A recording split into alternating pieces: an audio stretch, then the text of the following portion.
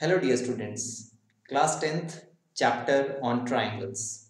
A very important chapter in geometry and I am sure most of you must have prepared this chapter by now. And if you have not done it till now, here is the first video on the important chapter of triangles in which I'll be taking up one important theorem, uh, only a single theorem in this chapter because it is a very important theorem and you need to understand it very well. So let's see this theorem. This is the basic proportionality theorem. The statement of this theorem you need to remember and it goes like this. In a triangle, now this is the triangle ABC.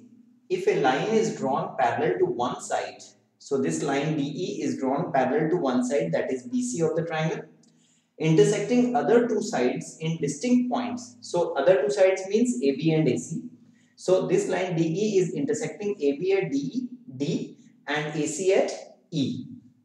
So what happens? So this much is given. So let's write this given. There is a triangle ABC in which we have drawn a line DE which is parallel to the side BC. Now what we need to prove? So we need to understand the remaining statement. Now in the remaining statement we have then. So from here two proof starts. It it means the line DE divides them, them means AB and AC in the same ratio. So this DE is dividing AB in two parts and A, AC also in two parts. So the ratio of the two parts of AB that is AD and DB and the ratio of the two parts of AC that is AE and EC these two ratios are to be proved equal. So this is the theorem that in a triangle if it is given that this line DE is parallel to BC and it intersects AB at D and AC at E then you have to prove that this parallel line divides the other two sides in the same ratio that is ratio of AD and DB and AE and DC is same. Now all the constructions involve construction, helping lines. So let's draw some helping lines. Construction. Now for construction part, we need to join these two DC and EB. Just remember that whenever you draw helping lines, those lines have to be dotted so as to make out that these are the construction part. And from E we draw a perpendicular on AB so this is the perpendicular which is drawn from E on AB and let's call this as AP, EP. So let's write the construction. Join DC and BE and draw A. Okay, I'll not write AB first. I will write EP. Draw EP perpendicular to AB. Now this is the construction. Now let's see the proof of this theorem. Now for the proof, first of all, we will consider a ratio of areas of two triangles. See, consider the ratio. And which ratio? It is the area of the triangle on the top that is ADE and the triangle at the bottom BDE. So ADE and BDE, very easy to remember. DE is the common side. So we have to take two triangles starting from A, ADE and BDE. So just see what is the ratio of these two areas. We will apply the formula half into base into height. Now for the triangle ADE, this is the perpendicular. So this is the height. And on which side is this height made? This is made on AD. So the formula will be half into base AD into height EP. And if you see the other triangle BDE, this is half into, now here the base was AD, here the base is BD and the height of the triangle on the top EP is inside the triangle whereas as the height of this triangle BDE is outside the triangle but the height is same in both the cases. So EP gets cancelled and half also gets cancelled thereby giving you AD upon BD which is the first equation which is required in this proof. So you need to remember this first step that area of triangle ADE and area of triangle BDE should come out to be AD upon BD. Now see when I consider the ratio starting from ADE and BDE. So both the bases were on this side. Then I got the ratio of the two sides which are on the on the left hand side. Similarly, if I would have taken the triangles from right hand side that is AED and CED then I would have got a ratio which is on the right hand side. So I don't need to uh, prove that. I will just write similarly area of triangle AED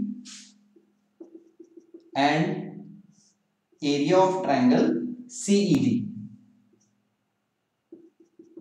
These two areas are also the ratio will also be found out like we have found out the ratio in the first step. So that ratio will be AE upon EC. Friends, you don't need to prove it. You can just write it similarly because if you have to prove it then you have to draw another perpendicular from D on AC. You can do that and in some books it is given like that also. But even if you write similarly then you will not lose any marks in board exams. So let's see the next step. Now see the part which we have to prove. AD upon DB equal to AE upon EC. This is to be proved. So one part of this that is left hand side is here AD upon BD and the other part AE upon EC it is on the right hand side of the second equation. So if we have to prove that these two are equal that is the RHS of these two equations are equal then first of all we have to equate the left hand sides. So that is a very crucial step now. We have to try and equate the left hand sides of these two equations. How do we equate the left hand sides? Just see the numerators first. In the numerator here it is area of ADE so ADE is this triangle and what about the numerator here AED AED is again the same triangle. So the numerators are already equal. What we need to do is to equate the denominators. And for equating the denominators, you need to recapitulate a theorem which you have done in class 9th. That is the chapter on area of parallelograms and triangles. In that chapter, we have done that whenever there are two triangles, I'll shade the triangles for you BDE, this is one triangle, and CDE, this is the other triangle. Just see that these two triangles are actually drawn on the same base DE. There is a common base and what about DE and BC? They are parallel. Here we are, it is already given in the question. So these two triangles BDE and CED are actually lying on the same base and they are drawn between the same parallel lines. So whenever this happens then the area of the two triangles become equal. So that is what we need to write in the next step. So I am just writing the denominators area of BDE. Now area of triangle BDE is equal to area of triangle CED. And what reason will you give? They lie on same base. Which is the base? DE and between same parallel lines. And which are the parallel lines? DE and BC. So here is the use of the two parallel lines DE and BC. After this, it is just theory. You have to just write two steps and get to the answer. Now we have proved that the denominator of the first equation and the denominator of the second equation are equal. Here we are, we have proved them they are equal and numerator was already equal. So LHS of first equation is equal to LHS of second equation. So we have proved that the two LHS are equal and why did we do that? Because we wanted to prove that the RHS of the two equations are also equal. So that implies the RHS of first equation will be equal to the RHS of second equation thereby giving us the desired result AD upon BD equal to AE upon EC and this proves our basic proportionality theorem. Students, a very very important theorem for board exams and you just cannot skip this question if you want to succeed in board, board exams. Take a screenshot of this theorem. This is the exact way of solving this theorem in board exams. If you do this, 4 marks are yours. No one can reduce even half mark if you solve it like this.